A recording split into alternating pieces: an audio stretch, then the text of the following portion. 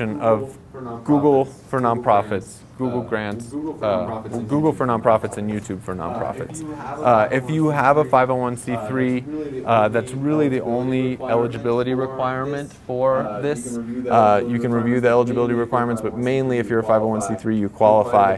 You apply to the program. Uh, once you get it, go to the next tab, Brandon. Once you get it, Once you get it, you get uh, Google Apps for nonprofits, which I'm going to go through in more detail. You get Google Ad Grants, which gives you up to $10,000 a month of free uh, ad ads on Google that you can place. We've had several months where we've used that full amount, $10,000 worth of traffic hitting our website every month for free. uh, for free. The YouTube nonprofit program, which Brandon's going to go more into, and is really what you guys are here to learn about, which includes free services like live streaming and the Google Earth outreach. So I'm going to start by really just going into the Google Apps for nonprofits, and I should mention. Um, we have been using Google Apps here for about seven or eight years since they implemented this program.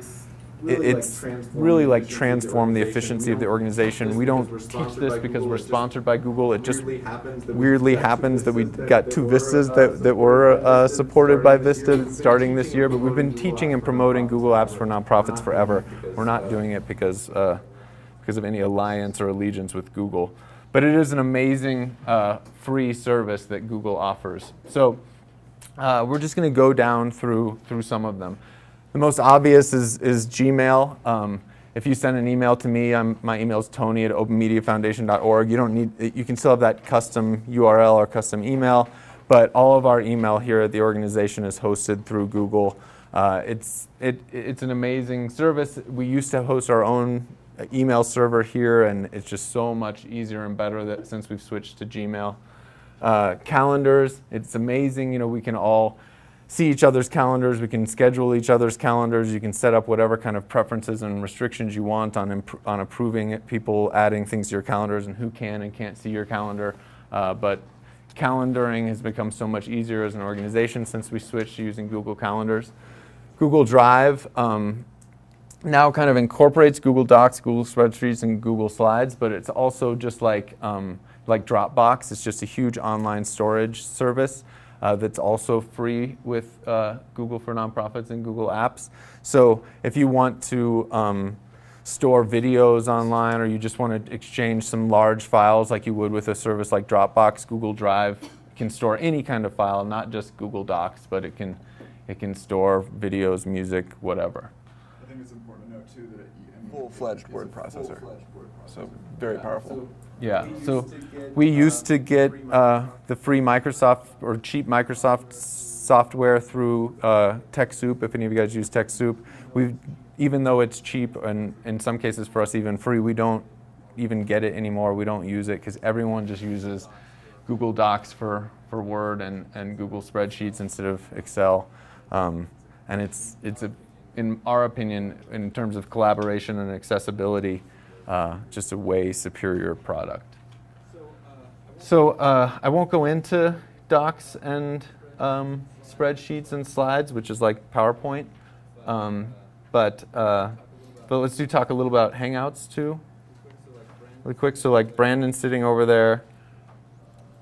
Uh, do you want me to initiate? Why don't you initiate? Call you? or Thanks. just Call you or just? Why don't you video chat me? Let's see how this works. Uh, so you can you can just chat with each other, chat with your staff. You can do things like this, us talk back and forth like like Skype. Um, you can also do. Let's stop this so the audio goes away. um, but you can also do what's called Hangouts on Air, which is we could call in a few other people, include like Robbie. Whoever talks, it automatically switches to show them because whoever's whoever has the noise coming, it it automatically switches to show them on the big screen. Uh, you can stream those live on on YouTube as well, so that literally millions of people could be watching your um, your conversation. You can have up to 10 live participants for free in a Google Hangout. Uh, you can have, that's people participating actually speaking, but people watching, if you do Google Hangouts on air, you can have truly unlimited people uh, watching that. So it's something like if you've ever used WebEx or other services like that that they charge a lot of money for. This is a totally free service with this uh, with Google for nonprofits that, in our opinion, is totally superior to like WebEx or many of the other options. Um, my question is in regards to what kind of internet speed you would need for that. Specifically, in my situation, I have a lot of people that are on reservations and tribes Mm-hmm. with low or slow internet access. How does Mhm. that factor in? You know, I've never even really considered it because I've I've never because usually it's an alternative either either Hangouts or you're using WebEx or using something else, and I would assume they all use about the same amount of of bandwidth. You know, if you can use Skype, then you can use Hangouts, but uh, but I don't actually know the the bandwidth like requirements. But I'm sure that if you just check on Google Hangouts on the site, it'll probably go through what they'd suggest as a minimum minimum bandwidth. We haven't ever run into a bandwidth issue here, and we actually don't have the most robust internet connection here at the Open Media Foundation. But Also works well on uh, a 3G network, mhm. uh, even a slow. On my phone, it works decently well. That's actually what ends up. That's actually what ends up happening a lot. A lot of our residents will do it on use their phones. Mhm. versus whatever internet access they have on the. Yeah. So anyone that has an Android phone has it automatically built into their Android phone. So um, we could have just done that exact same thing, but me with my phone over the 4G network or over the wireless network. Yeah. So I'm going to ask some probably stupid questions. Mhm. Us old people kind of don't get the hang of this tech stuff. But Uh-huh. this, we're talking about Hangout. Uh, one of the issues that I've run into as of late is that we lost our conference calling service, and as a nonprofit, can't afford to pay an arm and a leg to set up a conference service. hmm So would this be one way that we could uh, conduct a board meeting if, if I gave all of our board members access to Hangout? hmm You have a maximum of 10 people that can be participating on the video. Uh, I think Okay. you can add another 10 people that are voice only. Okay. So if I wanted to call Brian, I could, or Brandon over there, I could choose between the phone or the video. Okay. So if it's voice only, then yeah, you can you can do this, and then you can dial any cell phone, or you can dial, um, or you can dial uh, one of your contacts. Okay, cool. So yeah, up to 10 people on video, and I think up to 20 if 10 of them are by phone only. Okay, thank you. Sure.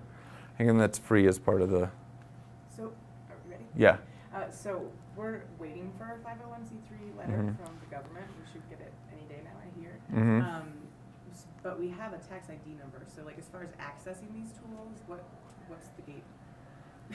My- What key unlocks the gate. M- My guess would be you have to have the 501c3 in place, and you have to be able to, yeah, be able to. Do I need to do that today for this course? No. Oh no, Oh, okay. no, yeah, no. It, for people that haven't already gone through, show that first tab again. It's just if you just Google, Google for nonprofits. The website is just google.com slash nonprofits. Uh, that'll talk you through the eligibility requirements, the application process, And and, and all of that. Yeah. Mm -hmm. Yeah. Sure. Great.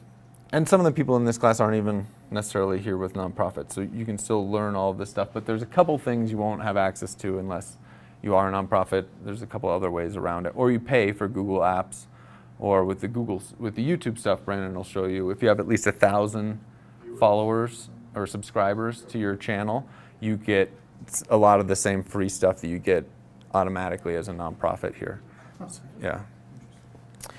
So, uh, is there anything left on my No, I think that covers it. on my list? There's a whole bunch of other enterprise apps that are useful for you guys to look at that you also get free access to. We don't want to go through all of them here, but uh, one of them is like Google Voice, which might be also useful for people who don't want to set up a new conference call or, or even a phone system at their company. Um, but the last is this, uh, oh, Google Analytics, I should mention. Yeah, so uh, you can Google, use Google Analytics to um, evaluate who's on your website, what keywords, who are the main people linking in, all the traffic to your site. We've used this to, um, we do a lot of work with the state legislature and uh, the state leg- uh, the site we built for the Colorado State Legislature. We've been tracking through Google Analytics for the past few years and uh, really blew up when we shifted to a new platform for them last year. And analytics is our main tool for following it. AdWords I already mentioned, but that lets you set up these AdWord campaigns where you can say if you're looking for Native American resources in Denver, you can have a paid ad so that it's not just showing up in searches, but showing up up top with the sponsored links and on the on the sidebar if people have sponsored links on the sidebar, uh, and you get up to ten thousand dollars a month of free AdWords clicks. So it's a pretty useful useful thing. Uh, so lastly is YouTube for nonprofits. You want to just jump in? Sure, absolutely. Great. Um, as Tony Enough mentioned, if you have subscribers, enough this is YouTube Live is available. That's one of the benefits. That's really the primary benefit of YouTube for nonprofits. Um, uh, it's entirely it's it's its own streaming service. So just like Livestream would be, or UStream, or any of those, uh, YouTube Live works almost the exact same way. So, uh, and that's I believe that's the biggest difference for um, for YouTube for nonprofits. Am I overlooking anything? No, but on this whole list too, we should mention that from, from YouTube to nonprofits to Gmail to Google Drive, the main benefits of these apps that we've experienced at Denver Open Media and Open Media Foundation is that it is for us a better way of organizing information. We used to keep everything on an admin server here that people, some of our staff could figure out how to access from home, others couldn't. And it was, it was just harder to find everything. Everything's a lot more organized. Everything's a lot more accessible. Uh, But the big thing is the collaboration. Um, I'm sure you guys have all seen Google Docs and Google spreadsheets going, but we've had meetings or grant development meetings where we'll have eight or ten people working on one document at one time. You can all be typing simultaneously, see what everybody else is doing, easily track all the changes that everyone did. You don't have multiple versions of documents floating around. So that whole idea of just collaborating on documents makes it so much so much easier. I forgot to mention that. That's kind of the the impetus behind using all of this. Yeah, go ahead. You had mentioned some of the enterprise Mhm. apps too. Will we Mhm. get a list of those? Is there a presentation that we can follow up with that may list some of those? Brandon, I don't know where you can. No. Uh, It's not really important right now, but if there's a way we can access a list of those ones that maybe you use later, that would be cool. Enterprise apps or something. Like yeah, probably.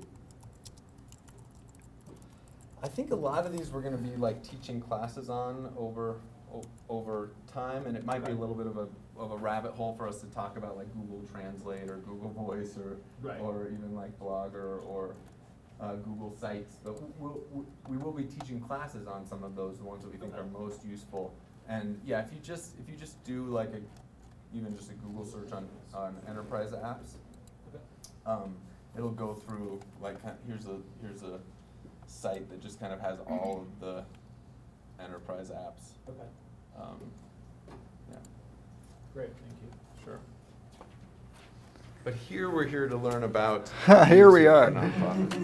Let's talk about streaming. So, how this is going to kind of work, we're going to start on YouTube and creating an event.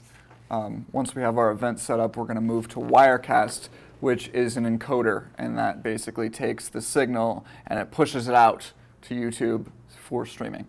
So, we're going to start with YouTube. Um, we're gonna i'm gonna kind of do a few steps and then uh, pause and then let everybody catch up so there's no need to be doing it while you can just kind of watch up here while we're while we're walking through it um, I think that's about enough of a roadmap. I just kind of want everyone to understand. So, Livestream is is essentially a video hosting site, right? They the, the same way that you upload videos and then it stores them, you are also able to send stream a stream directly and have it broadcast at the same time, roughly the same time. There's about a 45 second delay, but um, so that kind of makes sense to everybody. So what we're going to do is we need to we need to set that event up at YouTube, and uh, all of these computers should be signed in, except for my own, I think.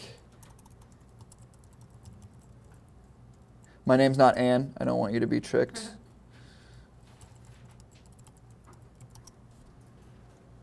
Boom. So uh, up here on the right, if you drop that little arrow down, you get your other options. And if you go to Video Manager, and again, it's up to you if you want to do this kind of as we're doing it, but we are going to allow time for everybody to step back and, and do it. Um, over here on the left, then you'll see live events, and you can go ahead and click on live events. Um, I, I think this is covered a little bit later, but I see that this big orange banner right here that says you have had one content ID match on your live stream. I want to talk about that a little bit. So as you are preparing your stream, um, Google, YouTube has developed this really remarkable uh, algorithm for detecting copyrighted content. It is incredible. I mean, it's. I had uh, at an event, I had John Coltrane playing sort of idly in the background, not even really. I mean, not even very loudly at all, um, and it killed the stream within about five minutes. So, uh, and you will you will lose your live streaming uh, privileges after a certain amount of infringements. So it's absolutely imperative that you are not broadcasting, whatever Christina Aguilera or whatever, you know, any kind of copyrighted music. Um, YouTube actually has, uh, you can Google it, but it's, uh, they have an audio library, and you can pull audio from that for any of your videos. So you can just Google YouTube audio library and, uh, and find a, a library of, of content that they have approved for streaming and video use. Go ahead. So my question um, relates to why I wanted to initially sign up for the class. We, um, I work for a nonprofit that produces the People's Fair in the Civic Center. Mm -hmm. um, and so we have a live band audition in March that is sort of like the, one of the kickoff events to the fair. So we've been wanting to live stream the auditions. Some of the bands are cover bands, so they would be playing other people's music. So how does that work then, or would that work? Uh, that's a really, really good question. Um, I've noticed the only, the most similar experience to that that I've had is uh, with classical music. Uh, various orchestrations, I, I, I, think they get confused. So if it's one symphony playing it that actually has released it and doesn't hold any rights to it, um, another symphony that holds the rights to it it gets confused and it recognizes that. But I mean, that is, you know, really composed music. My guess is it wouldn't be similar enough to pick up. Um, I don't know what the actual rules are about broadcasting covers on YouTube. I, we pay BMI and ASCAP fees every year for the festival oh. to cover ourselves, but I mean, with the auditions, it's a little bit different. So. Right. Um, I mean, my, my guess is you would be fine. Uh, you can, if it will get there, but there's a live manager where you can, it'll it'll ping you for just a couple minutes before it kills your stream. It'll let you know. Um, so you might just kind of want to watch that. Uh, let it maybe let it happen once and then can reevaluate what you're going to do. Uh, again, though, I mean, the, the, I don't know how sensitive that algorithm is. I mean, it's, it's I think I, it's probably similar technology to like Shazam or SoundHound or whatever, where you can hold your phone up to a speaker and it'll it'll pick it up and it'll it'll find you know it'll tell you what song that is. I imagine it's similar technology, but often I can't sing that song and have it recognized. So I imagine it's it's similar. I think you'd probably be fine. Would be my guess. Um, Good. So here we are in uh, YouTube. We have Content ID covered. Don't broadcast any Britney Spears while you're doing your nonprofit events. Um, over here, in, we're in live events. We up on the upper right, we can create a new live event, and uh, we can give it a title. I'm just going to call mine Brandon. It's live stream. Um, you can set the time that you want it to start. Uh, it will let you start it earlier, but it's a little bit kind of fussy about it. I try and get it as close to the time that uh, I'm going to start as possible. So why don't we just say 4.30? Uh, doesn't like you to put it in the past most often, uh, but like I said, again, you can start it earlier. Uh, a description, you know, any kind of description that describes your event is appropriate. Same with tags separated by commas that make everything a little bit more searchable. Um, so for instance, theater or veterans or, you know, that kind of thing you might want to put as your tags in there. I'm going to go ahead and skip that. Um, this, this little tab right here, public, unlisted, private. For the purposes of this class, I'm going to ask that you uh, mark them as unlisted because we're going to go, when we create a stream, we're going to go ahead and create a stream. And uh, if you make it unlisted, then no one will be seeing your face broadcast on the internet as we set up our stream. So as we're setting it up here today, why don't we go ahead and set it up as unlisted. But typically you'd probably want to leave it public so that people can find it on your channel. Uh, unlisted basically means that it's not going to show up, it's not searchable. You can't see it on your channel unless you are logged into your channel. Um, private means that you can only see it if you have a password. You can actually set a password. Um, rather than unlisted, you can just shoot somebody the link. So again, let's go ahead and set it as unlisted. Category, uh, you can have that nonprofits activism category. Uh, uh, I think that's unique to YouTube for nonprofits, um, but or whichever category fits you best. Right here where it says type, um, you can see that we can go ahead and broadcast to Hangouts on air. Uh, I, we're not really going to get into any of that, so uh, go ahead and choose custom is what we'll choose. And again, I'm going to go back and we're going to we're going to go back and do all this together again if you're not following along. Uh, this advanced settings tab, it allows you to kind of do a whole lot. Um, for instance, the legislator, uh, as Tony was mentioning, we do live streaming of the legislator every day, and we actually do use uh, YouTube Live, but we don't allow comments because obviously that's that's not what we're there for. We're there to broadcast. We're not there to collect public opinion. Um, we don't want people to be able to vote on those comments, and we don't want people to even see the ratings of the video. Standard YouTube license is almost always what I use. Um, you can check out the other rights and see uh, Creative Commons, uh, which again is uh, very, very much what our organization believes in. But standard YouTube license is sufficient. Uh, syndication, uh, I don't know that that's really actually an option. Uh, I think it used to be. I think they're probably phasing that out. Caption certification, uh, you can, if, you, if you're working with captions, all of that's probably going to make sense. I'm not really going to go into that too much.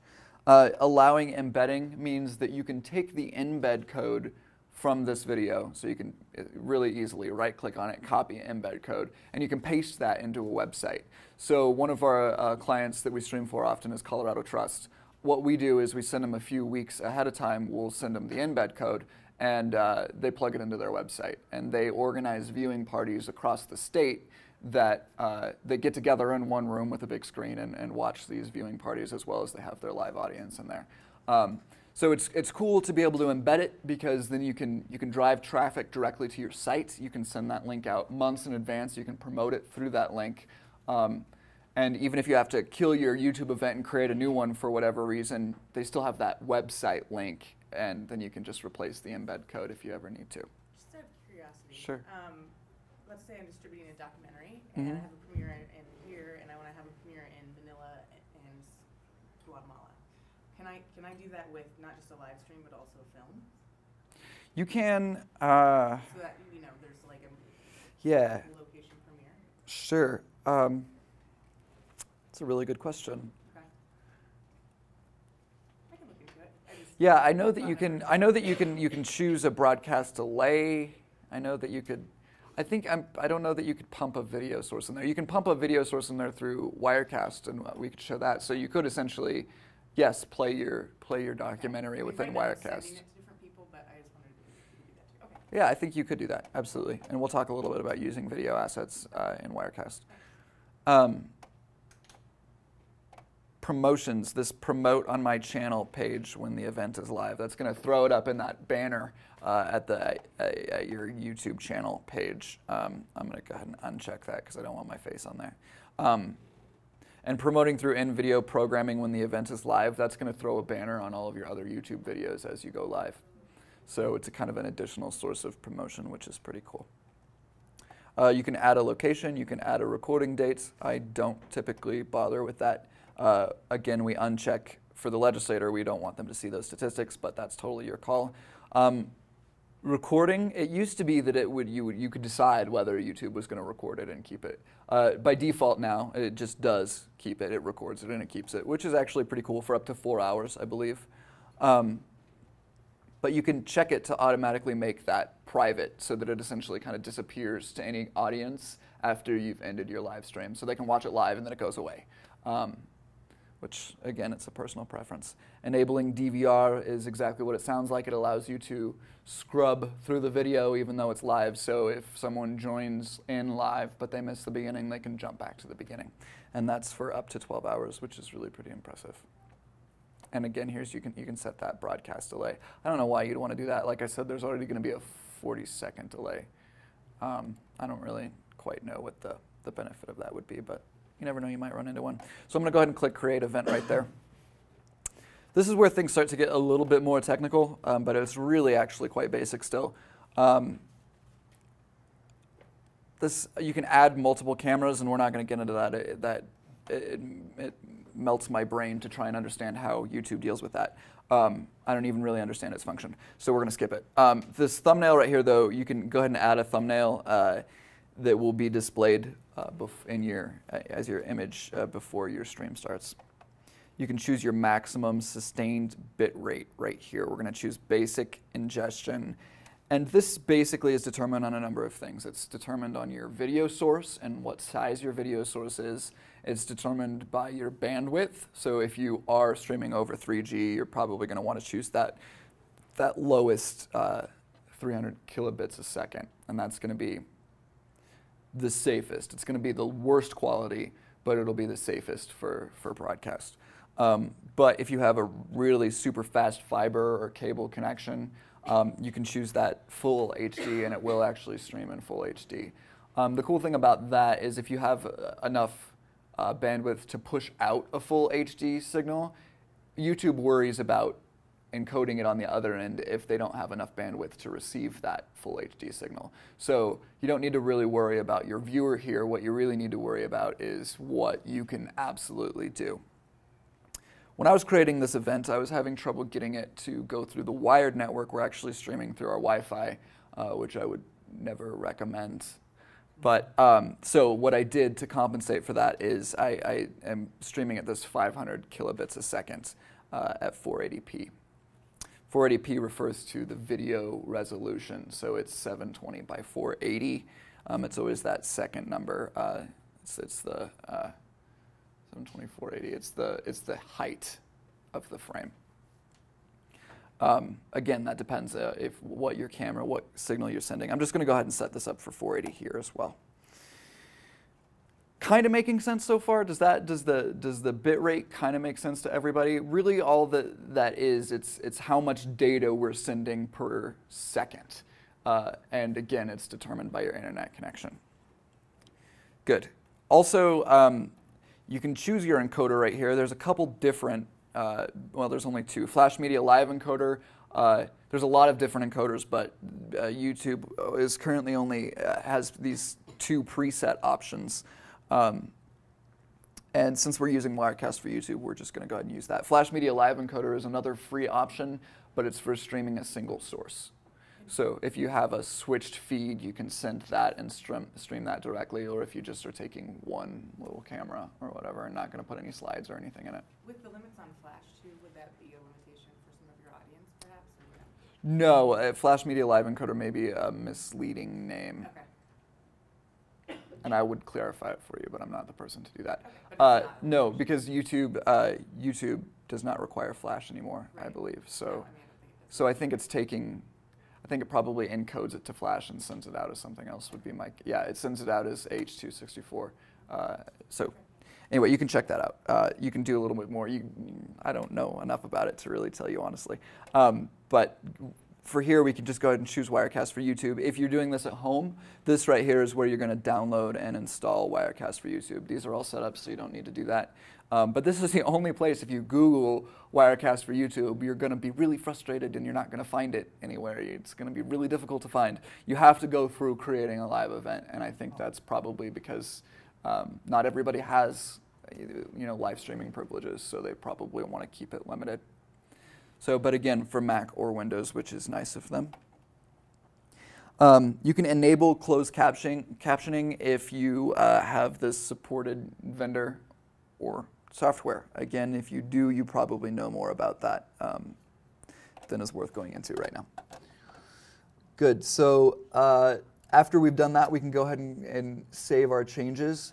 This is going to take us to um, nowhere. We're going to go to the live control room next. This live control room is kind of where we're going to end, and we're going to revisit this uh, in a moment, but uh, you'll see uh, that it's not receiving any data from our encoder, and that's bad. That means it's not receiving anything, uh, we're not sending it anything, obviously, so of course it's not. Uh, but once we get there, uh, we're going to be able to preview our stream and then start our stream. Um, but you can see right there, it says no data, but you can see that we have set it up for 480p, so we're going to want to make sure to do the same thing in Wirecast. Uh, it gives us right here, if we were sending data, we could go ahead and preview it before we start our stream. Uh, and we could take a look at the public view, which we is a little bit misleading. It's about the same as the preview. um, whether or not whether or not you've made it public. So that's that. I think we should probably stop right here and go ahead and create our YouTube live events. So you can see at the, the page two there, um, we can go ahead and log into YouTube. If you are not logged in as Denver Open Media, when you go to YouTube, would you please just flag one of us down and we'll get you logged in there. Um, yeah, so in your browser, just go ahead and go to youtube.com.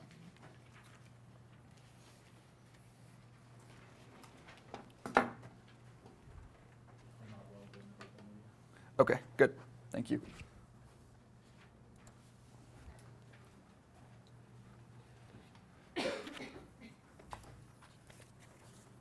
Well, I am- We should go. Oh, yeah, good. Look at that. How about that? Magic. Good. Do you want to fire this up and try it? Oh, sure. Oh, sure. We'll make it easy. Maybe, if your computer's going to play nice. It's not going to play nice.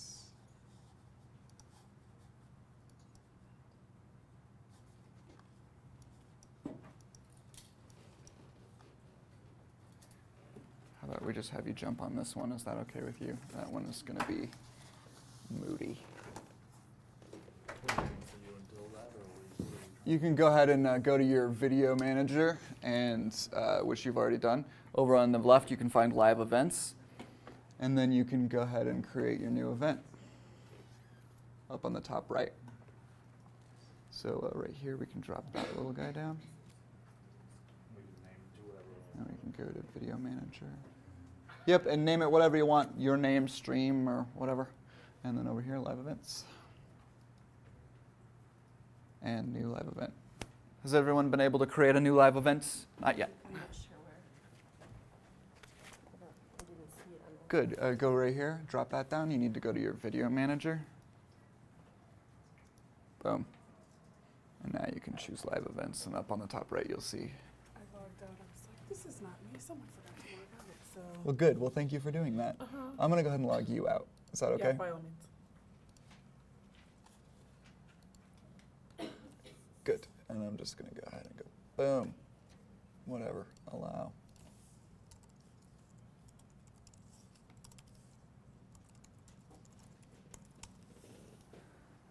Cool. Now you can.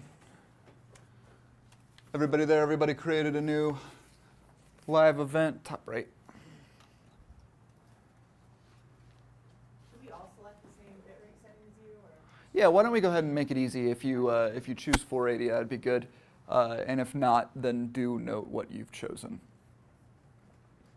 So it is downloaded? On every? It is. Yes. Uh huh. Thank you. Yep. Yeah, if you'd set it all as unlisted in uh, in your info and settings tab, that'd be great. Time that at this point, or not really? Uh, yeah, you could start it. At, why don't we start it? Yeah, sure. And you don't have to add an end time. I honestly don't ever add an end time, so I'm not sure if it kills it at that end time or not. But it's fine that you did. Uh, we're not going to be streaming for two hours. When it was under public, it had a share on Facebook or Twitter. Did it? Click it again. Huh. Will it stream it to either of those, or is it just the link? I don't know, but now with the new video technology on Facebook, Yeah, the way it kind of plays as Yeah. you're scrolling down. What, what page is that, under advanced? Uh, under no, it's info and settings. It's your first Yeah. tab there. And if you do set it to public, I imagine you could check that. I don't know where it would send it with this account, but if your account is linked to Facebook or Oh, Twitter, that's interesting. I bet it would. Which is pretty rad, particularly if you're doing all of your promotions through that. That is pretty cool. I haven't, I get so used to seeing those icons, I guess maybe I don't always notice them. It's very cool. Yeah, I'd be curious to know what that does. I'll have to give it a go. Can we test it from? Can I do that from here? Like, It will, sh- I don't know, there's not a Facebook account linked to that, I don't think. And if it's our Facebook account, I don't know if you want to be all over our, our Facebook. I mean, if you want to, everyone will be watching you, your face as you click I around. could log out and go to my YouTube. Do you have live stream enabled on your YouTube channel? Uh, I don't know. Probably not. I know. Sorry. How do you, how do you enable it on your? By applying for nonprofit. Oh, I have that. Oh, you do? You have Google for nonprofits? Check it out. Log out. Log in as you or as your organization, whatever has that Google for nonprofit status.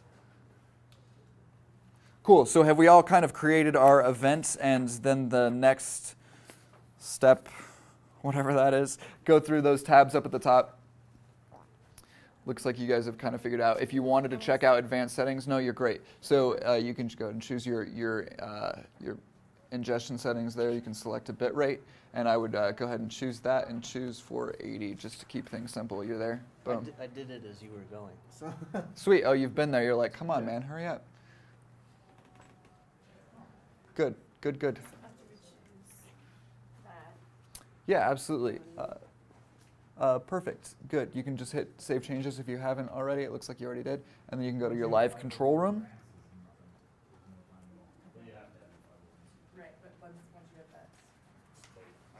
And then in your live control in your live control room, you can choose your bit rate.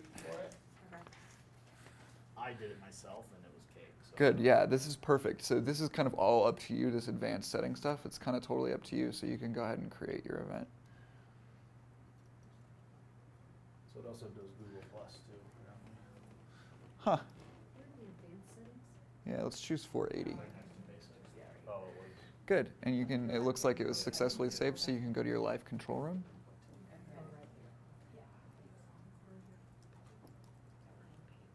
Perfect. So again, you're going to see that big red banner right across there when uh, we're not receiving data from your encoder, but we're going to solve that problem here in just a couple minutes.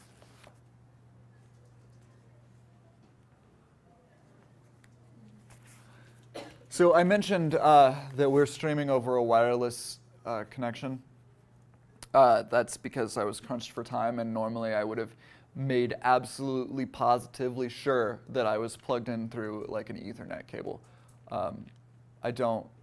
You don't want to stream over a wireless connection, particularly if you're streaming at an event or something, and then everyone gets on that wireless network and like bogs it down, and it's just it's one more variable, and there are so many variables as you're live streaming. You want to eliminate as many of those as possible. So I recommend that you always stream over a wired internet connection.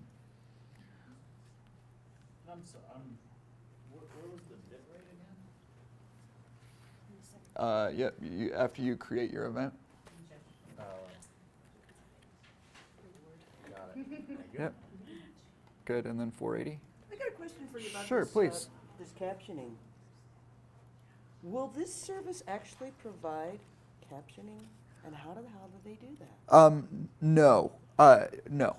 So you can you can have a caption provider and a device uh, that actually will stream captions live. I don't know how it works. I have no idea how it works. Honestly, it's it's a mystery to me. I should really learn. Um, but it is an option. It's something that you can do. What is cool about YouTube, however, is after it's uploaded, you can turn the captions on, and it'll translate it into like I think I don't even know how many different languages they have, but it will it will caption it and it will translate it after it's after the event is complete. Yeah, and that so that's a really a great tool or service.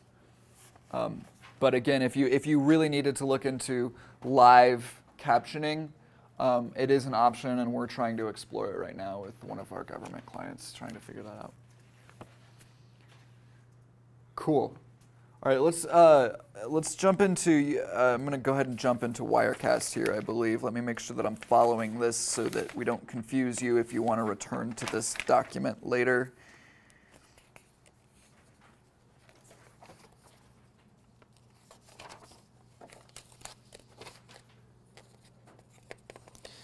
Good.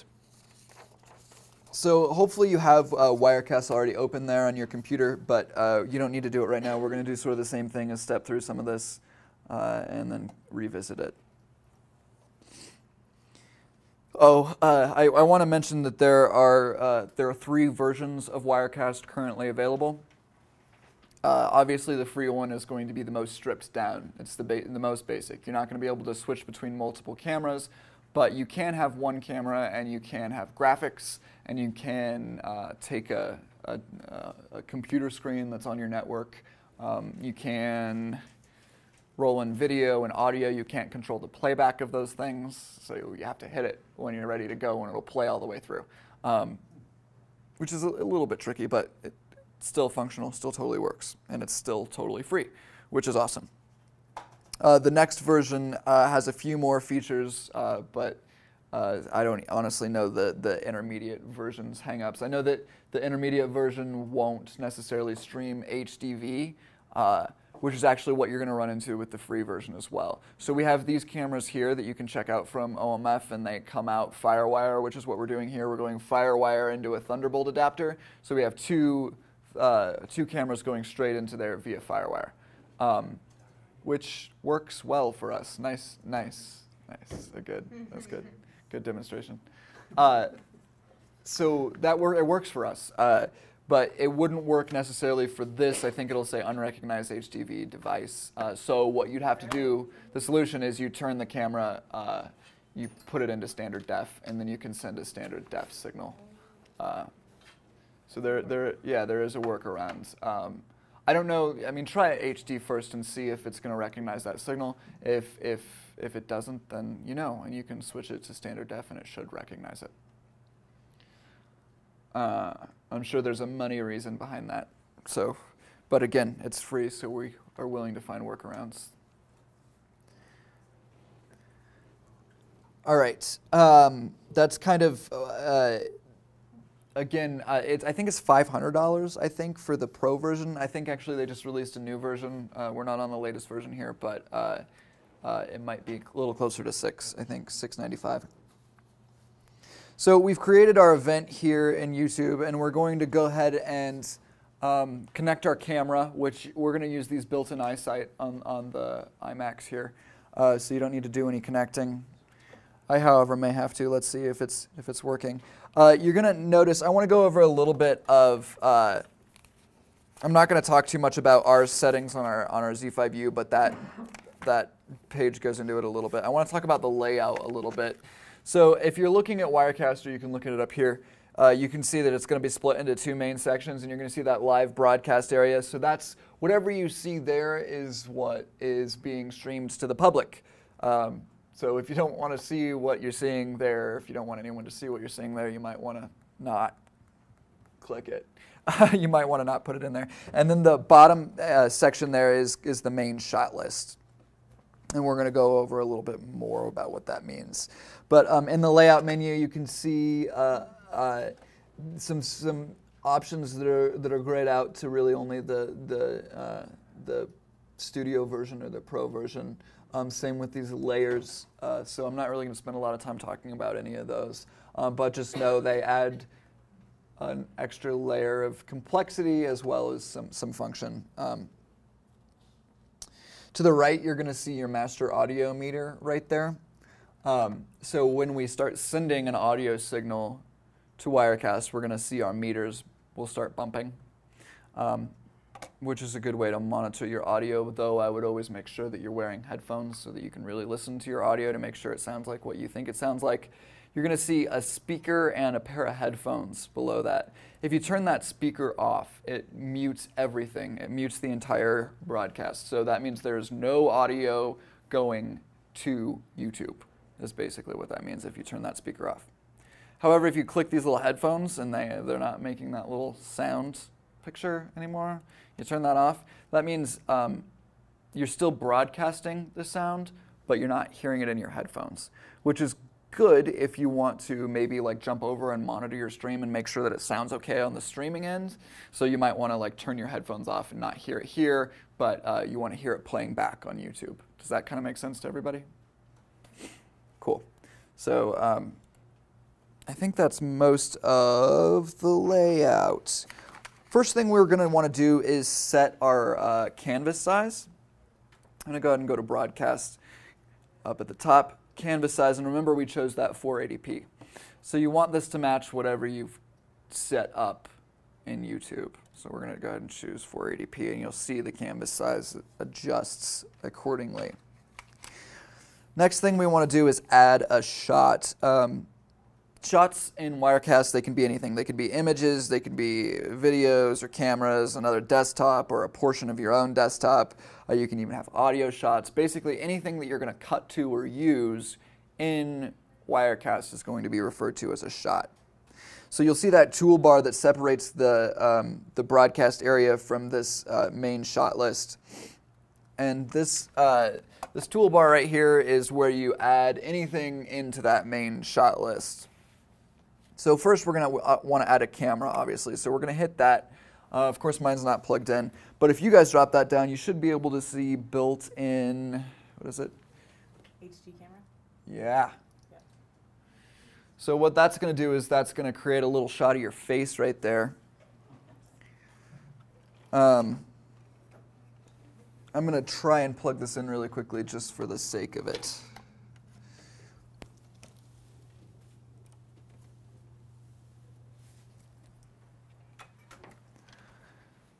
So you, uh, you can see there's probably a couple different options. There's probably an audio option. Don't add the audio yet. We're going to get into that in a second. You're just going to want to add the video. So obviously, uh, the first step is before you do any of this, you're probably going to want to plug in your cameras. Otherwise, it's probably not going to recognize it. But we're lucky this time it did. So I'm going to go ahead and add my video shot.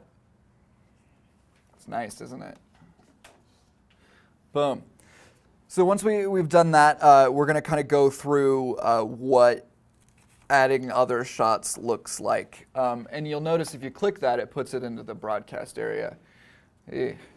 Um, so again, if you don't want people to be seeing this, we're not, we're not broadcasting yet, but if we were broadcasting, whatever's in there is going to show up on your stream. Good. So uh, next we're going to add, what do we want to add? I'm going to skip the part about the Z5U because again, those are our HDV cameras and you can refer to this if you do check out one of those and you want to add that. I want to go ahead and add an audio shot. So if we go ahead and click this, uh, mine is this Logitech audio camera audio shot. I think yours is probably going to be FaceTime or iSight. Uh, if you go ahead and click add Here? Add, Right here? add built-in microphone shot, yes. So uh, what that does is now we should probably be seeing some uh, meter action, maybe? Maybe not. Oh, click on it. Oh. There you go. Yeah, so if you select that shot, you're going to start to see your, your meter bouncing around. Now you'll notice that doesn't really do us a lot of good if we want to broadcast ourselves talking. It's not going to help, right? Because, because the, the clip is not enabled, the microphone clip is not enabled while we're looking at our video shot. Is that making sense to you? So if you go back to your video shot, you're going to notice that, uh, I can do it here too. You're going to notice that they're not connected. So I'm looking, I'm broadcasting my face, right? Um, but there's no audio level. But if I click this, oh, the microphone shot. Oh, that's cool. I'm not going to do that too much. Um, but you'll, you'll, but then I'm not sending my face, right? So like, what the hell? So what you have to do is you have to select your camera, and over here on the right, that little microphone guy, uh, you add your audio source. It'll say microphone for you. So does that make sense? You have to attach an audio source to your video source. So you use the built-in microphone or on this one? hmm And again, we're going to go through all this again. So if you don't get there, that's fine. We're going to come back and give everybody time to get there. So you, you might be bored if you get there later, but we'll try and keep you excited. so does that that concept making sense to everybody?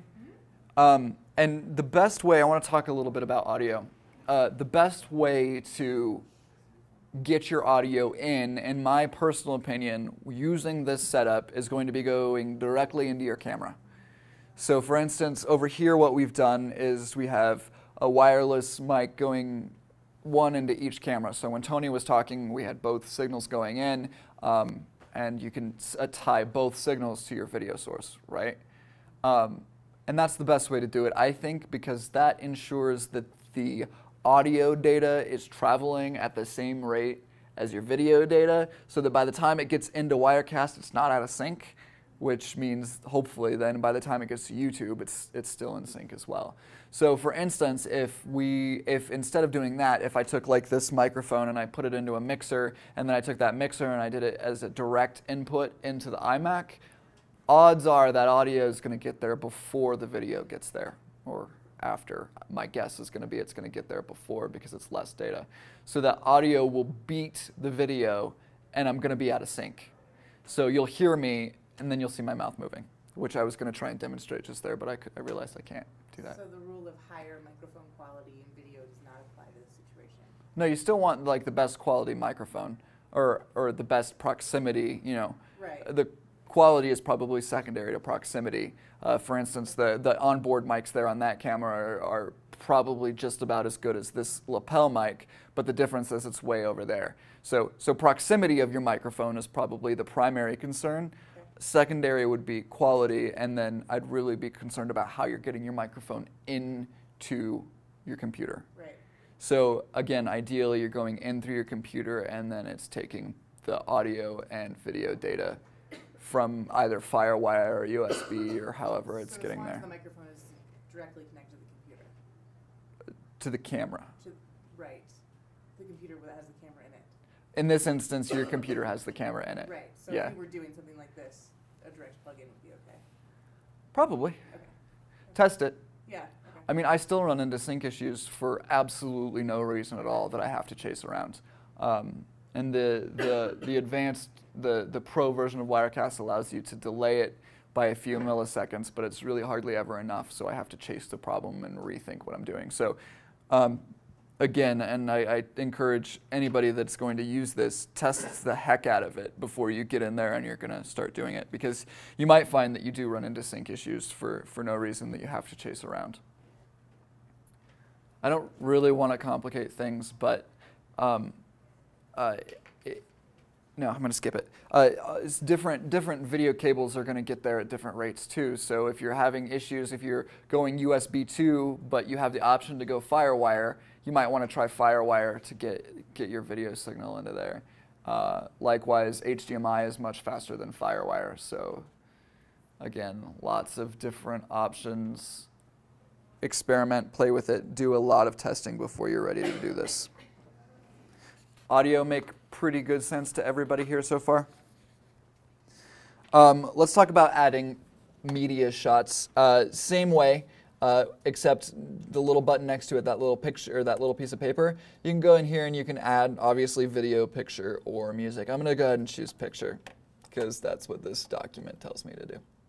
Um, you'll find on your desktop, I don't know if I have them here. Oh, look, I think I do.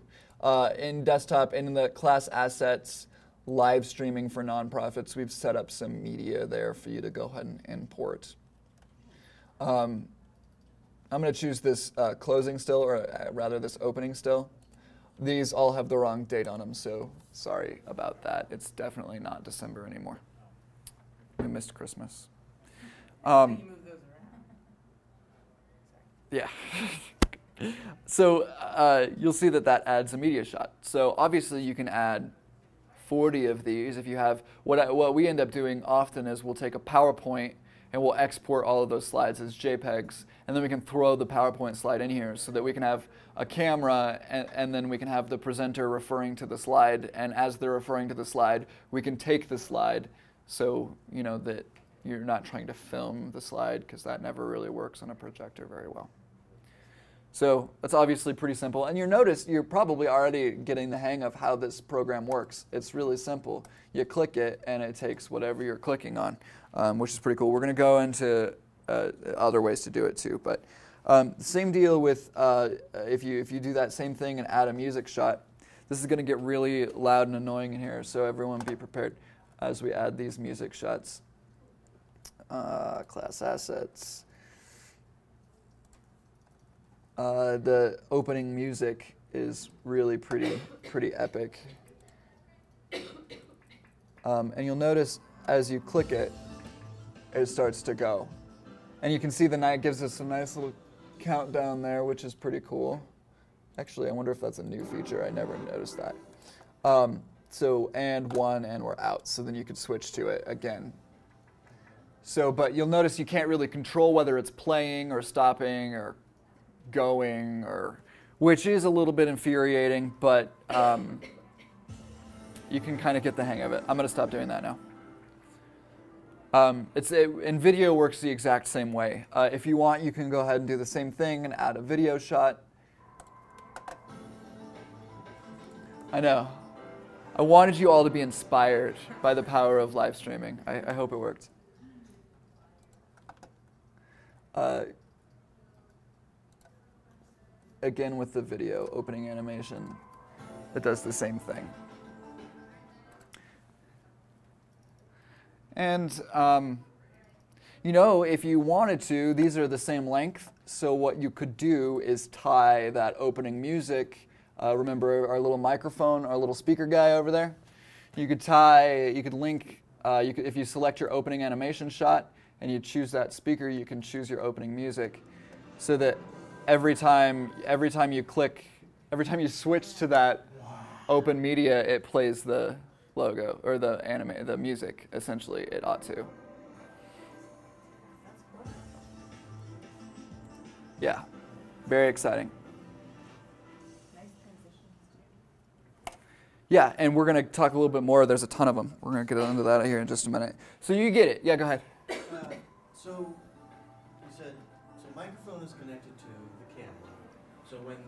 that is the case, and I'm not using this microphone, do you have to sync up an audio, or does it automatically come through? You still you still have to uh, you still have to tell it. For instance, like right here, uh, I'm using my Logitech microphone and my Logitech video, right? Uh, I just have a little stupid webcam. And uh, if I just click that, uh, my shots over here, you can see that it still has a Logitech camera audio shot and it still has a, a Logitech video shot. So you still ha- it will separate them out. Does that make sense? So when you're, but when you begin live streaming, dealing with shots, how do you connect an external microphone to the video image if it's not connected to the computer? Uh, no, what I do is I run it into the camera. That's what I do. I take my, my mic and I run it into the camera. Right. You, you could also run it into a mixer and directly into your computer, but beware of those the potential for sync issues. Am I, I'm not answering your question, am I? Tell me again. So you have to, like here, you have to, you have a camera, Mhm. and then you said you have to add a microphone. Yep, you have to choose that built-in mic. Yep. So if that's, if I'm not using built-in, but you're using an external mic. right, do I have to, You would choose line. Yeah, it would, it would probably show up as line in would be my guess. Um, or maybe you'd have to add it over here. So you'd have to click that and add your line in, add built-in input shot.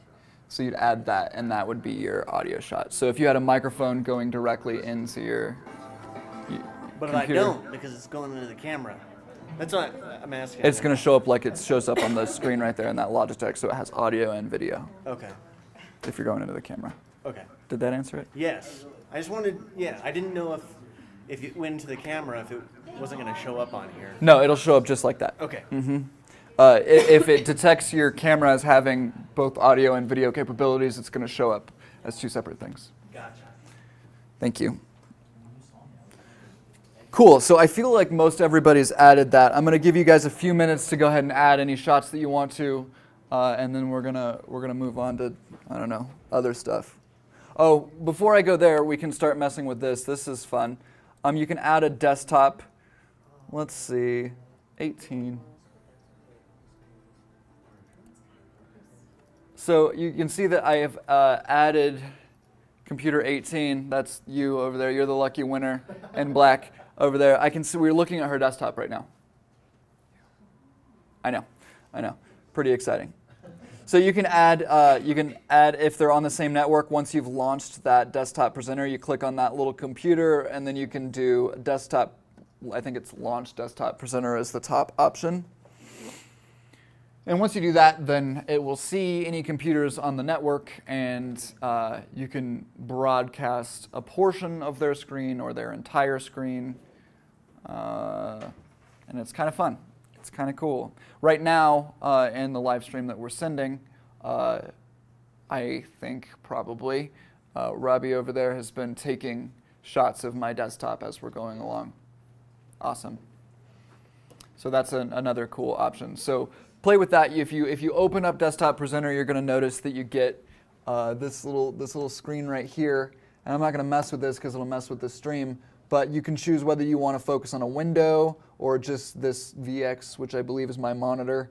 Um, or you can do a select a screen region or a, a, a specific size or whatever. Um, so you can kind of play with that and uh, get a feel for that.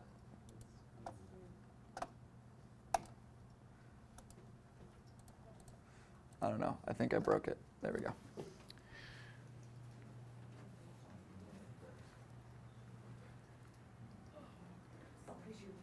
Did this die? No, Do you want to try it? Add a few shots? not really. Okay, good. I won't make you. I promise I won't make you. I won't make you. Uh, yeah, it, it's it's surprising once you get kind of the feel for it. No matter your technology uh, comfortability, you're going to learn that it's actually pretty simple. I know, I know. I'm sorry. So, but are we kind of getting a sense of it? Any questions as we're? How do you get it? Mine's not showing up. And you? I have this, but where do I, how do I get it up here? Uh, did you add a shot? No. uh, click here and then do add desktop shot. So you can choose someone else's computer. So like you could add the, the learning lab shot and you're going to get that. Maybe if it shows up in theory. Could be because everyone, maybe other people are doing that. And that could be why it's freaking out. But you should be able to add, yeah, choose that one, sure. There we go. Learning Lab 1, I think that's over there. So, and they're going to determine what part of their screen that you're going to see uh, with this window, just like if you were to Oh, so choose me selecting what, what- I allow people to. exactly right, what you're focusing on. I mean, you can add your own, I think you can add your own. That's why we keep seeing What number are you? 10. So if you uh, click that and click, I think you should be able to choose Learning Lab 10. Yeah. So that's your own screen, um, which you can, you know, you can choose a portion of it. Yeah, exactly.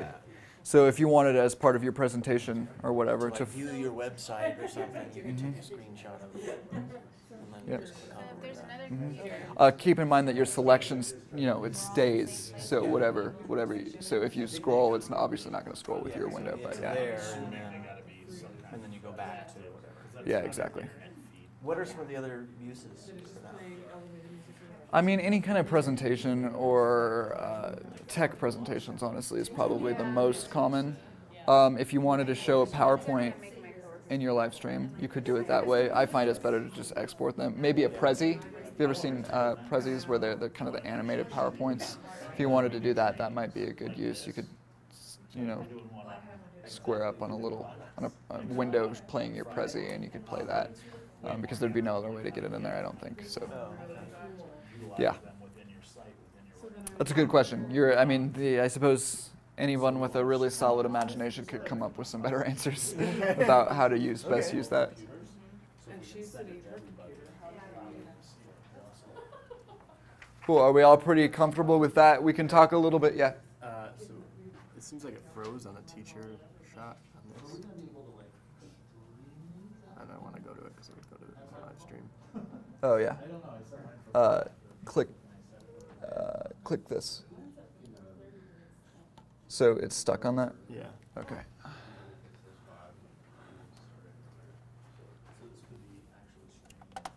No, it won't stream until we get the broadcast button on Wirecast.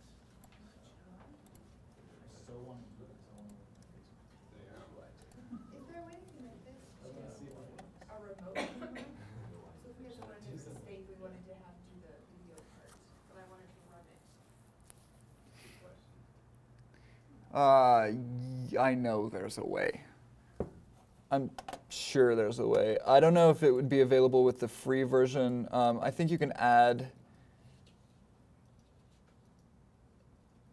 Uh, We frequently facilitate with a guest speaker who might be just any old place, and we need to be able to be on and say, hey, welcome to the webinar, we're gonna turn it over to our who is sitting, who knows where, at their house probably. You can connect, yeah. I, I know that you can with the pro version, and I haven't done it. Um, so I'm not really sure. I think this presenter probably. I think you can add their IP address, and it will connect to their computer. And if they're running Wirecast as well, I would imagine they would have to be running Wirecast as well. Uh, and that would be my guess about how to do that. Sorry, I don't have a better answer. I know that it is possible. The uh, other, alternatively, you could probably um, use uh, Skype or Hangouts. Yeah. Thank you. Good. So we're going to uh, kind of bust through this pretty quickly. We have about 40 minutes. Um, we have adding a desktop presenter. Uh, we have selecting our audio. Oh, this is kind of cool. I always forget to talk about this. The uh, the shot templates over here. You can go ahead and if you've selected one of your shots, uh, for instance, I'll just go ahead and use my camera. I go over here and I choose the little box within a box button and I do side by side, for instance. It's going to put us, yeah, it is really cool. And then you can go ahead and choose, I think it's this one. Yeah, you can choose your sources in that big open box. So I say I want uh, B to be my opening still. Uh, so that's a really, really cool, you know, it's a cool tool. And they give you a lot of, uh, a lot of different free options here. That's a good one for maybe if you're, you know, doing a presentation and you want the, either the, the speaker in the lower right or whatever. Um, in the in the uh, pro version, you can like manipulate these a little bit more. I could, you know, spin that that lower picture in the picture and shrink it and uh, and do whatever uh, in the pro version. But this is still quite a lot of powerful options for different types of presentations.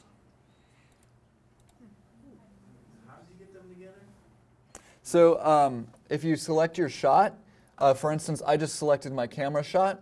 Over on the right, I chose this little box within a box, and then I chose, you can choose any of those, uh, whichever ones. Um, is that making sense? Is it working?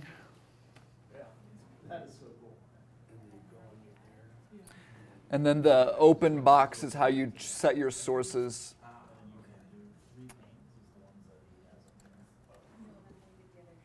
So go to this one, and then pick your source.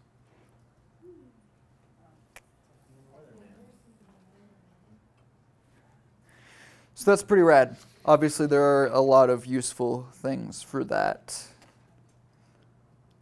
Okay, I want to cut. Just talk a little bit about cutting, which you've already been doing. You've all been cutting between multiple shots.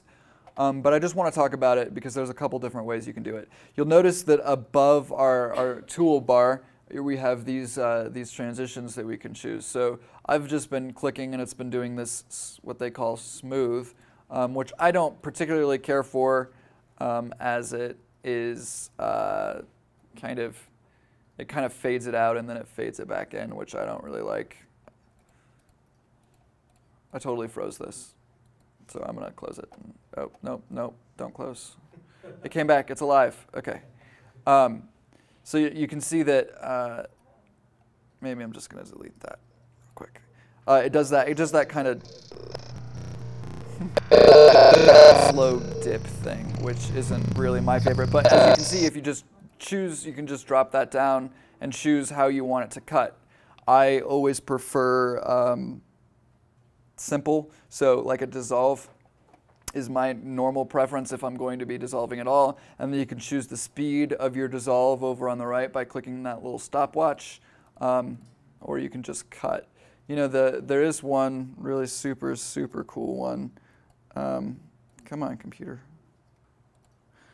Which is it? Flash. I think Flash is on there. Yeah, Flash is really, really, really exciting. Yeah, bang. You can change, change the speed of that. You can make it really slow so it's super epic. And do that. And we'll just do this slow fizzle star action. Whoa! I know. It's really exciting. Really spice up your nonprofit presentations with that business. So anyway, you get the sense of it. You can you can choose the different kind of cuts or dissolves you want to make. Um, again, I'm kind of a firm believer in less is more normally. So for the most part, I'll be cutting, or if I really want to, if I want to like exit off of my opening slate, for instance, um, I would choose that, and then I'd just choose a dissolve and do like a, a medium paste dissolve to get rid of that to cut to my my uh, my camera. Um, and that was too slow for me, but you get the idea. I like it to be a little bit less because uh, I think more is distracting. But it's all it's all up to you. You guys are in charge. So um, you'll notice that as we're clicking them, they go immediately. The next thing I want to talk about is it's called Auto Live.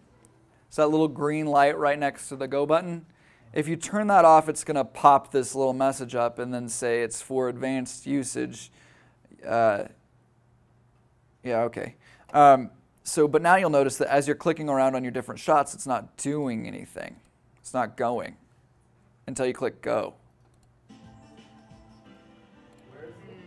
There's a little the little green button right there next to auto live or next to go. It's called auto live. I uh, whatever whenever I'm doing, and I think Robbie's probably streaming this way right now. That little green light is off. So that means what you can do is you can set up your shot. So rather than, say I wanted to make this camera shot a picture in a picture, if we had that little green light on, um, and I, I, have to click it in order to select it to make it a picture in a picture, but what happens, it sends it to the broadcast. So you want to be able to make mistakes or jiggle things? Right, I, I, I do, exactly. I want to be able to tweak things, okay. so I turn that off.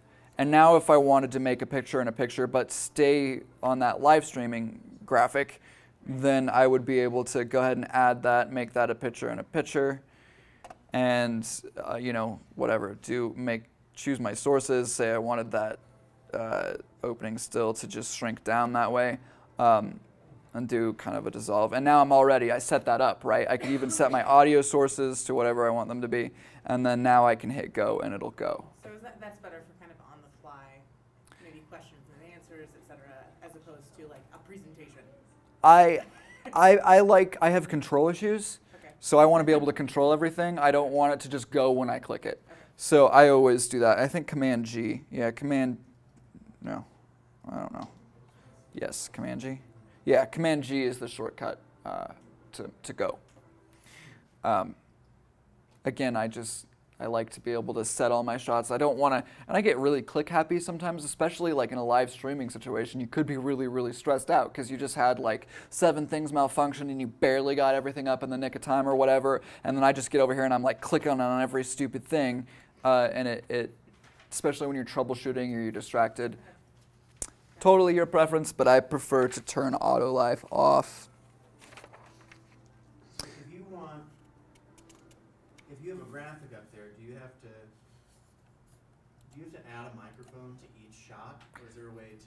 Yes. Okay. Yes.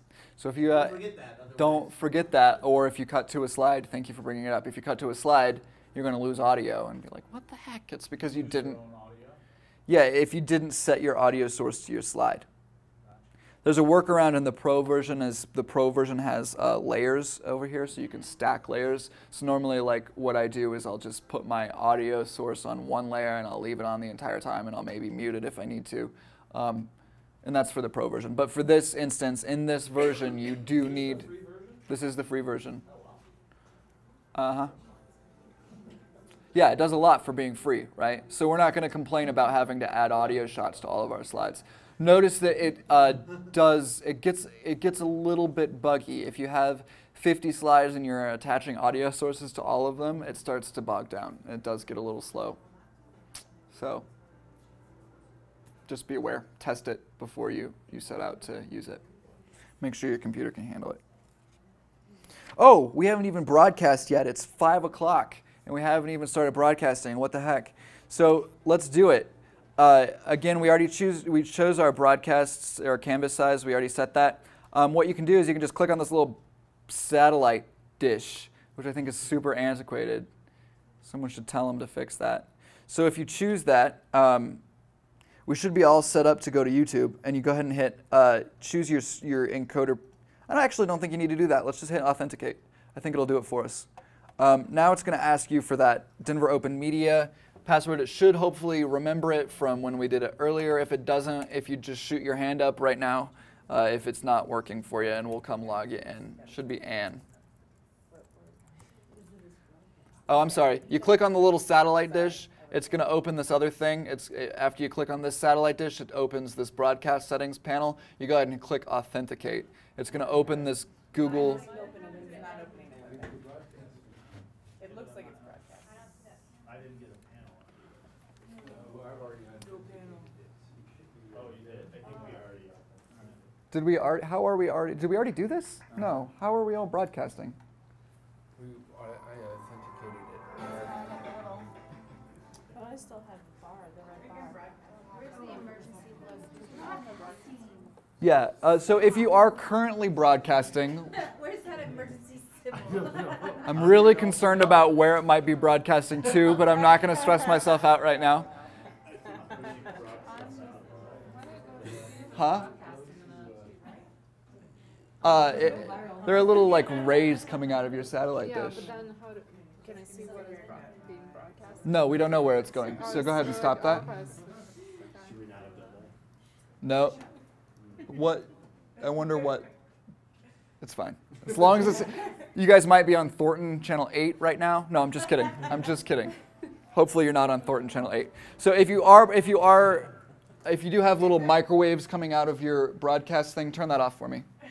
Oh, come on. I know. I know.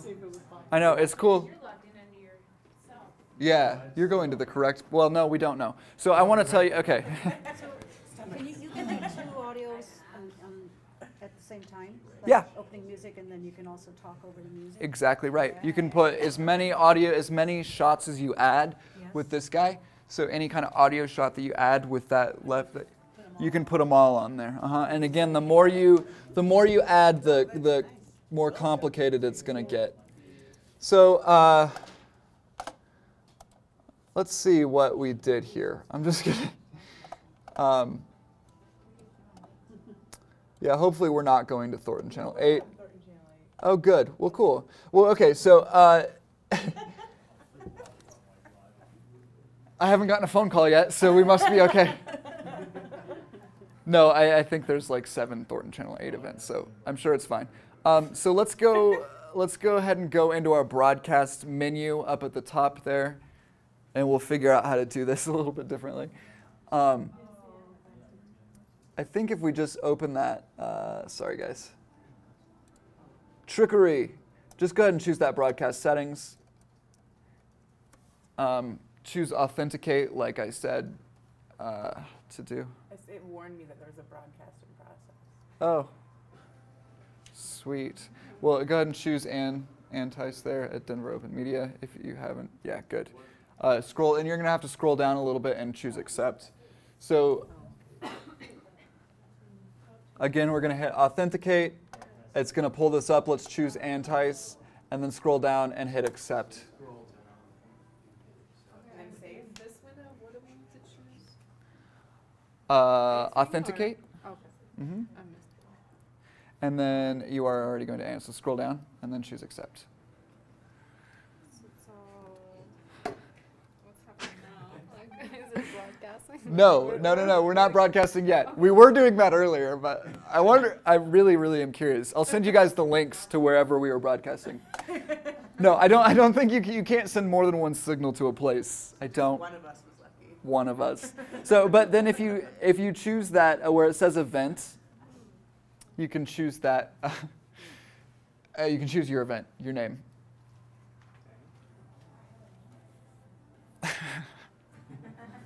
Good. Someone just lost their job. I'm gonna go ahead and choose mine. It- It should say format 480. Uh, if that's what you chose, it should automatically know that that's what you want to do. Now we can go ahead and hit save. And now we can hit broadcast. And you're not. Brandon's live stream. No, choose your name, the one you created. Sorry. So the one you created earlier should show up. Oh, there it is, that Yep. must be me. Oh, okay. Okay. And did you choose? Uh, go back over here. Uh, to YouTube. I'm sorry. Click on that. That. Uh, yeah. No, my computer died. Uh, go back to info and settings. Yeah, unlisted. Okay. Uh, and then go to ingestion settings. Yeah, 240. I just wanted to make sure that it was Yeah. reading it Mine's correctly. not here, Good. So, because my computer crashed I did that just because, you know, my before situation. I. Perfect. Yeah, thank you. Uh, it shouldn't matter because YouTube should already have that event. Uh, so, oh, because you're logged into our YouTube, right? Yeah. No, I'm logged into. N- no, you're my you're YouTube. logged into and so go ahead and hit authenticate. Again. Oh, that's why. Okay. Yeah, and then uh, choose that drop down. Sign out and then sign in as yours. Are you signing in as you? Yeah. Okay. Good. So just scroll down and hit accept. You can. Yeah. There you go. Good. And now you can choose your. And then save. Yeah. Okay. So if you have microwaves emitting, and you have the correct settings, good. Hit your broadcast button. Yeah, scroll up. Uh, go to live control room.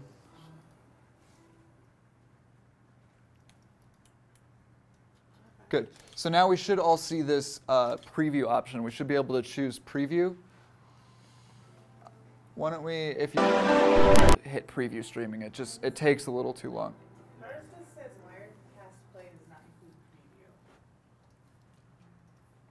Oh, I'm sorry. I meant the other preview. You can go ahead and close that. I meant preview in, uh, uh, in on your YouTube, uh, on your YouTube in your browser. There we go. Easy for me to say. So if you're if you're in your browser and you're looking at the live control room, you should be able to hit. Okay, got it. I have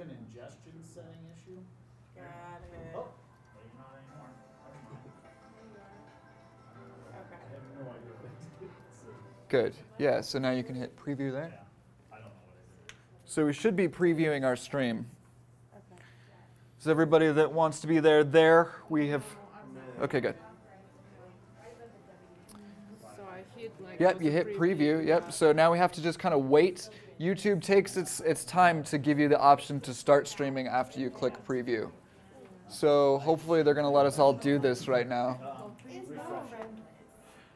You may need to refresh your page, perhaps, maybe, to get that to show up. Again, sometimes it just takes a little while. Why don't we try and refresh? There we go. Start streaming.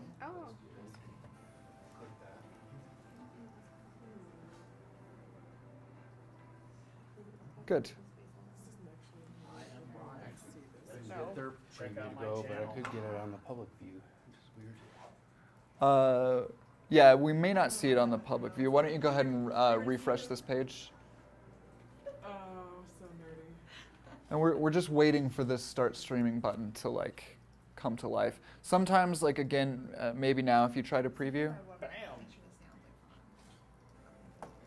Uh, Now let's try see this. it's on Facebook.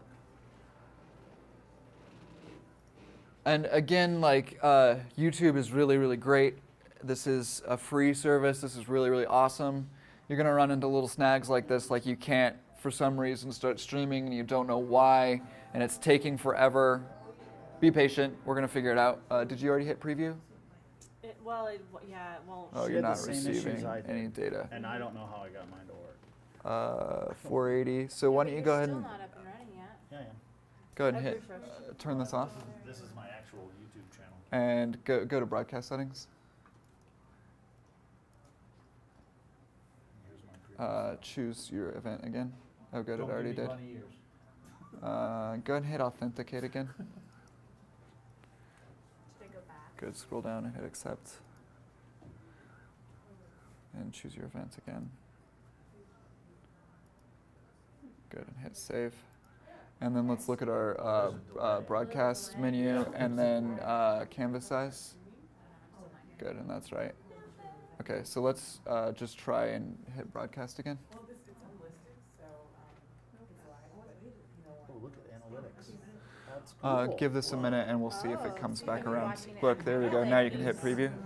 We probably didn't change anything. We just stopped it and started it again. It, Cool, it's so you can look and see how many people are looking. are watching. and everything at Mm-hmm. same time? Mm-hmm. Good. Is everybody that wants to be streaming streaming? No, I'm not streaming. Why not? I'm just kidding. Start streaming. Boom. Now you are. Any minute now you are. We're so close. I kept pushing that, and it wasn't working. It's because I came and stood over here. It's like a mechanic. Yep. See what's on your screen. You might have a black black screen. No, no, no. Uh, go ahead and uh, refresh this, or you can click View on Watch page. There you go. Ta-da! Live streaming is fun. There. And again, you'll notice there's probably about a 45 second delay. Really delayed. Yep. But I showed you. I Hi. did the magic touch. Just popped up. Oh, that's, okay. Uh, the delay is sometimes a little bit less when you're streaming at a lower bit rate. Um, but YouTube, they recently, well, I guess not that recently, a few months ago, updated their platform. And it used to be there was almost like little to no, almost like 12 seconds delay or less. Um, but with this new platform, for some reason, I don't know if it's their content ID system going through it, there's a pretty much a minimum of a 45 second delay no matter what you do. It caught me looking really confused. Good. Oh, I hope uh, I hope Thornton saw that look too. I'm sure they did. People laugh about, you know. I'm really, really, really, really. What time is it? So I can know. Good. I, I know I can go back and uh, look. Oh, I wanted to mention also. Uh, there's that little next to broadcast. There's that little record button. Uh, you don't need to click it. You can take my word for it. That will record your stream to your hard drive as an FLV or F4V. FLV. Uh, well, you are part of that computer forever. So That's great. it, uh, yeah, and Thornton. So yeah, it does. It will record. You should note that if you're if you're broadcasting as well as recording, you may run into uh, one of the bit rates may be degraded. So it might do one or the other. Usually the second one, it'll do the second stream because essentially you're streaming to YouTube and you're streaming to your hard drive. It'll do the second stream sometimes at a lower bit rate depending on your network and your, your computer resources. So know that if you're doing that, it may reduce the quality of the one that, the second one that you do. Does that make sense? So I can just delete this.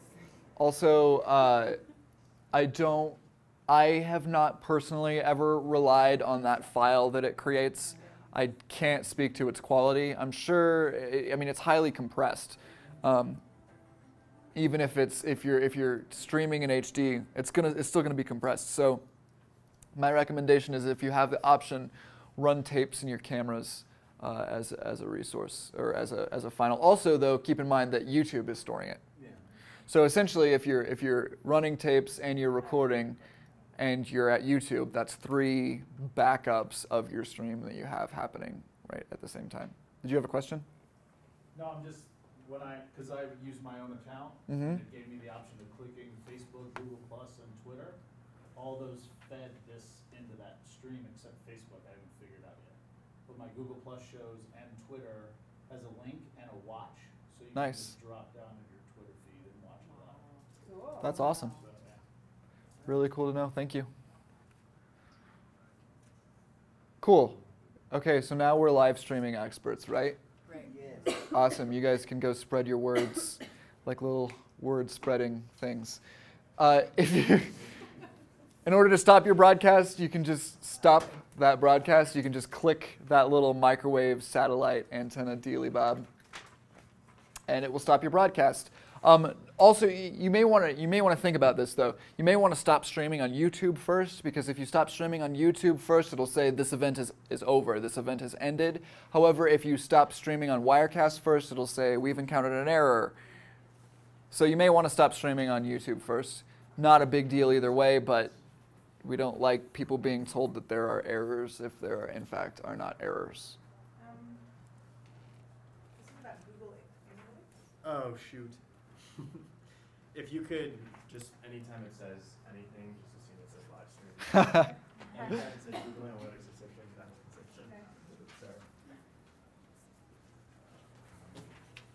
So yeah, I'm, I'm passing out a training survey. Everyone can fill that out, it would be much appreciated. I have pens, if you need pens. Before you uh, write down all the things that I didn't cover on that training server, survey, is there anything I could cover real quick?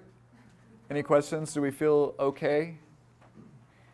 I assume we can upload like a PowerPoint. Yeah, and what I would do is uh, I would take that, that PowerPoint, export them all as pictures, which is an export in Power. Uh, it's an option in PowerPoint. You just choose export pictures. It puts them all in a folder, and then you can just drag that whole folder into Wirecast, and it'll just put all those pictures in order.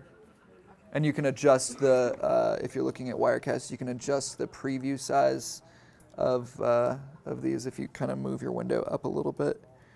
Like how do I do that? Like click on the upper bar, yeah, and then just drag it up the other way. This guy right here, that little magnifying glass, so you can drag that that way, and it's going to make your previews larger, so you can see what your slides are, or make it smaller. Uh,